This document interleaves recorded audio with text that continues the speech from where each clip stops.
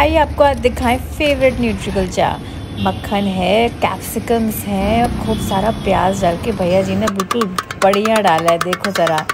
वाह वाह वाह। देखो कैसे लच्छे वाले प्याज तैयार करते हैं, धनिया काटते हैं, कितना फ्रेश और तुरंत के तुरंत। फिर डाल दिया भैया ने। ये क्या भैया? अच्छा न्यूट्रिक जो आप घर से बना के लाए होगे। हाँ हाँ हाँ। बढ़िया बढ़िया। बहुत अच्छा लग रहा है। वाह वाह वाह। अब इसको अच्छे से इन्होंने तड़का वड़का लगा के बिल्कुल तैयार कर लिया है।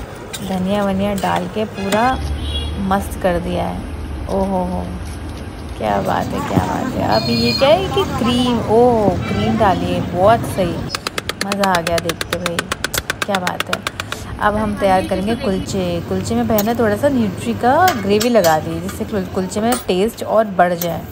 क्या बात है, अच्छे से बटर लगा के बिल्कुल सेका है। वाह वाह भाई। ये यहाँ पे मिस्टर क्रस्ट विजयनगर के सामने ही इनकी छोटी सी स्टॉल लगती है। शाम को पाँच, साढ़े पाँच बजे शुरू हो जाता है। मतलब उन्होंने काम शुरू कर देते हैं। देखो जी, हमारे कुलचे को इतने अच्छी तरह से सेका है ना, क्या बात है।